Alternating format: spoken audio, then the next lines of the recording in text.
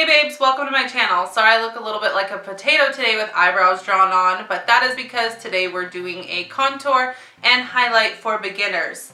And I'm going to be using all affordable products from the drugstore. So if you want to see how to sculpt your face, keep on watching. So first a little contouring 101. When I was in cosmetology school, they gave us textbooks. In the textbooks, they had everything you needed to know about doing makeup, sculpting, highlighting, face shapes, all that jazz. So in the textbooks, it says that the ideal face shape is oval. That's what I guess contouring and highlighting was made for, was to create the oval face shape, which is the ideal face shape.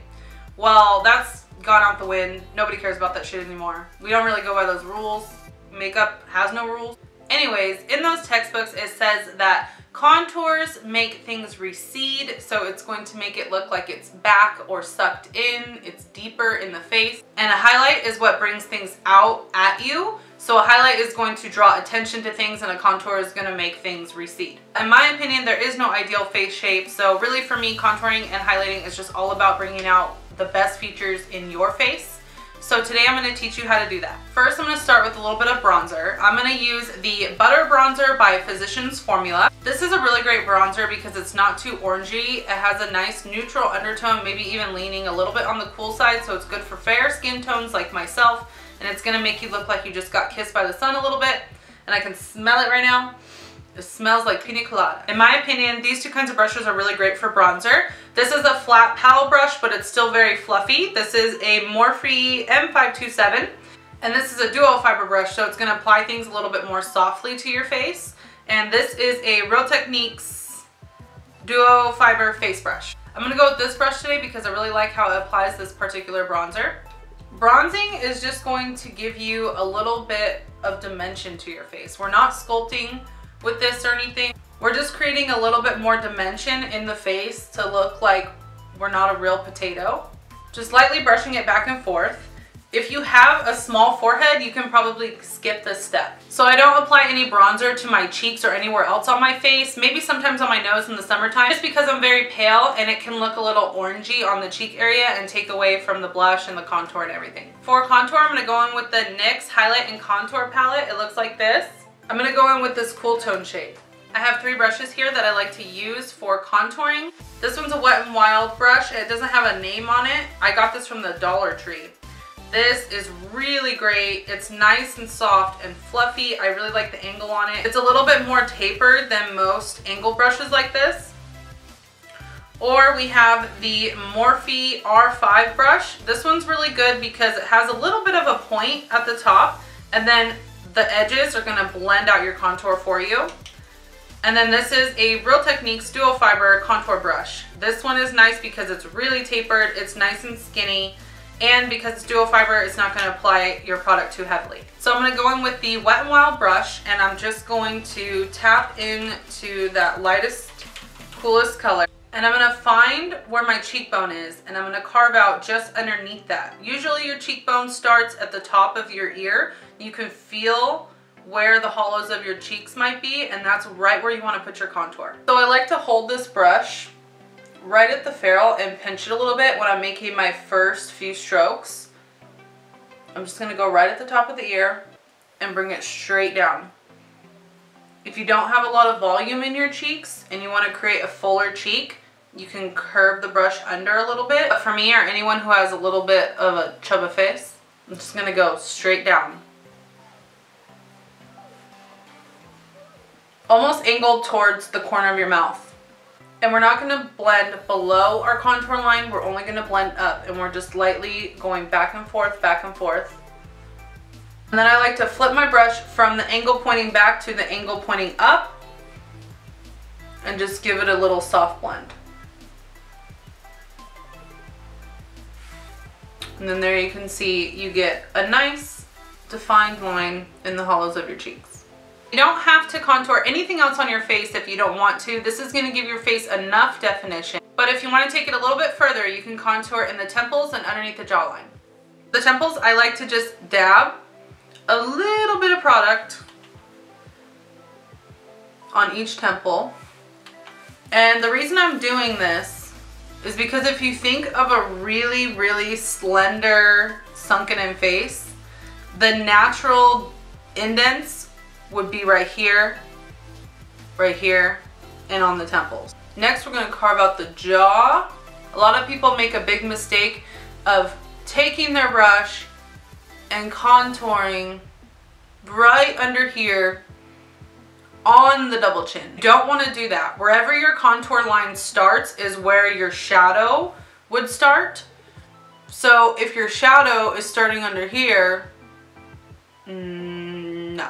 But if your shadow is starting here, it gives the appearance of a more sculpted jawline. So I'm just taking a little, little bit of product this time, barely touching my skin.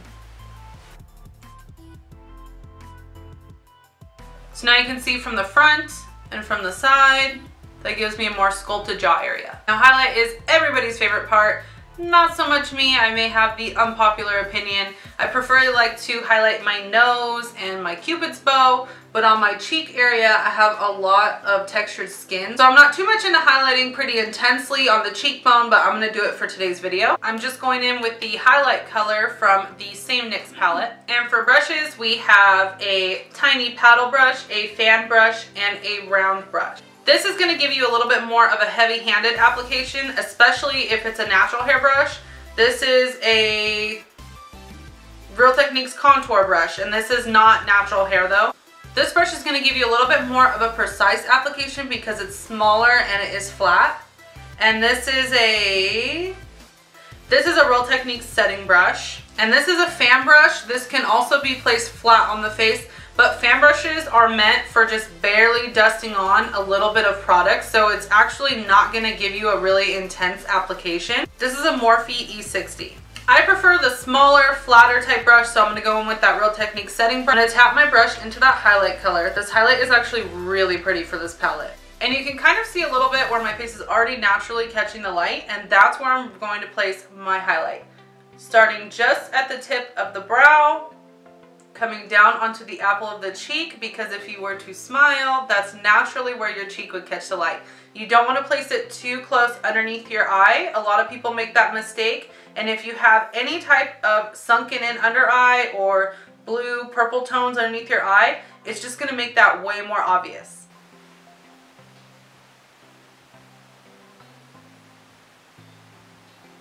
I haven't used this highlight in a little while. I forgot how beautiful it is. I'm just, just gonna keep petting my face, don't mind me. I always like to go in with my damp beauty blender. She's a little bit used and abused today. And I like to blend out that highlight. That's really gonna help press it into the face and prevent you from having a stripe of highlight. I like to go on the tip of my nose, just with the tip of my brush. And then softly bring it up the bridge and in between the eyebrows just a little bit because that's also where your face would naturally catch the light.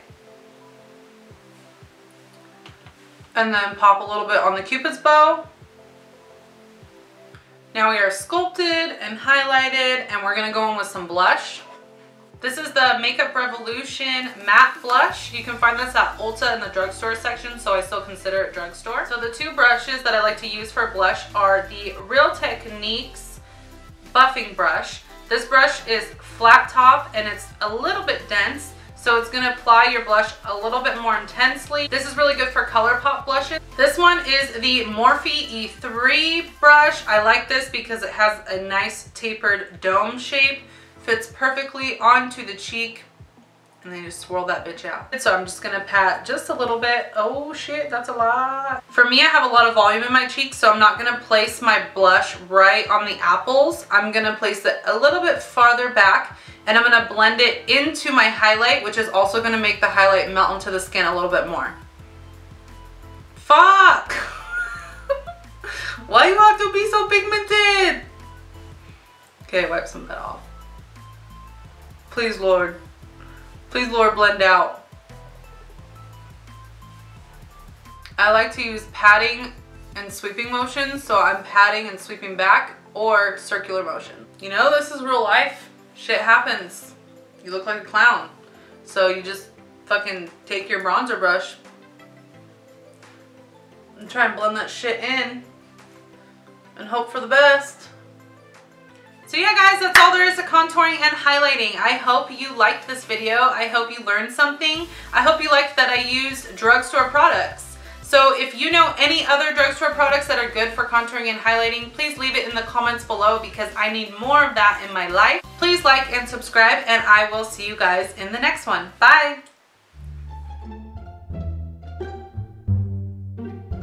First, I'm going to start with a little contour. Look at that person. God. Fuck, motherfucker.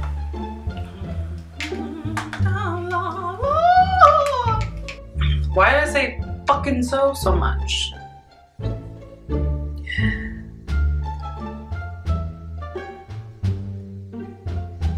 I really like to use this. Oh god, I got spit on my. I have spit on my eyelash because I went batshit crazy. Okay.